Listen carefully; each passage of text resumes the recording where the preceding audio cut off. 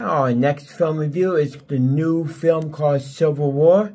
It's rated R with a one time of 1 hour 49 minutes. Uh, it is playing in IMAX screens as well as Dolby Cinema, as well as regular movie theaters screens. Um, it's about a journey across a dystopia future. America follow a team of military bad journalists as they race against time to reach DC before rebel factions descend upon the White House.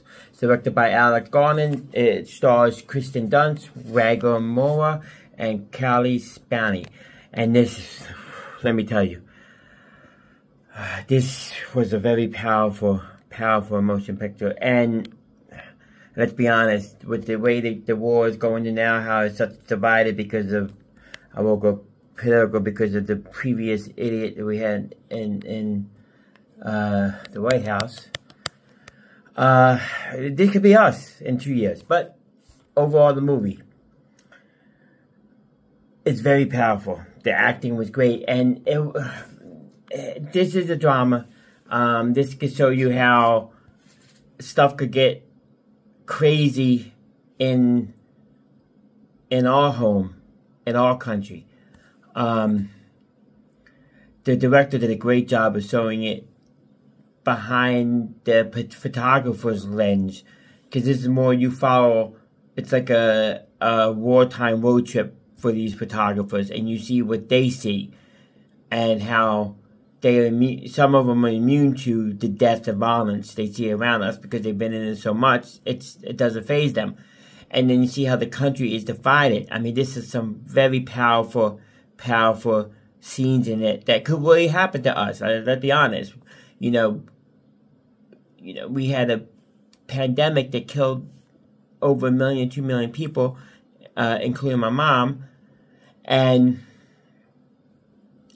you know, the country is not, you know, because of previous stuff, the country is not in a good place right now. And this movie, to be honest, hits a nail on a coffin, and it hits a nail on a, a coffin. Um, the director really shows you how. Let's be honest, how it could how it could be, um, especially up until the end, and it was a great ending. Yeah, I'm not gonna wait no stop because, like I said, I, am trying not to be political because I have views of I have a lot of hate views towards the ex. I hate like calling him president, but the ex um, but this director really made it, really made it um, powerful. I mean, this is one of the most powerful film of this year. Um, definitely will be on the top 10. Definitely is a film you will be talking about when you see it.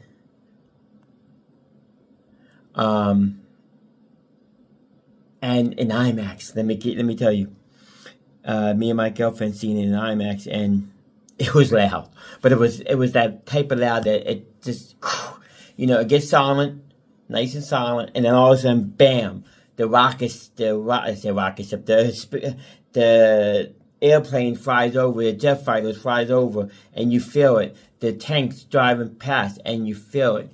Um, from the opening scene to the very final scene, and during the credits, because there's some pictures during the credits um, you want to see um, it just it captivates you and pulls you in.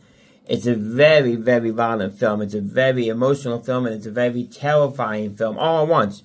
And it's not even a horror film, but it makes you feel like it's a horror film because of what's going on in it.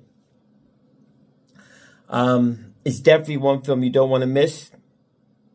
Um, it definitely one film is I think once you see it once, you talk about it, and then you'll probably never see it again because of, of it. Um, Alex Alex Garland did a great job of, of bringing the story to life, showing you his take on it. Uh, he's known for mostly like horror films, like 28 Days Later. He also known for Ex uh, Machina that he wrote them um, films um, as well. Men Annihilation. So he did, he did another great job with this film. Um, it definitely should be on the top 10 when it comes for next year and probably definitely get some nomination for Oscar because it's powerful, it's emotional, um, great story, great acting, great cinematography, great everything. And if you are political and you do have a, a, a voice about stuff, you know, that's going on, you will be talking about this because my, my, my girlfriend thought we were going to get killed in the, in the auditorium because the way I talk about a particular person. Um, but overall, check it out. Let me know what you think. Comment below. It's called Civil War. It's rated R, 1 hour, 49 minutes. And hope to see you at the movies.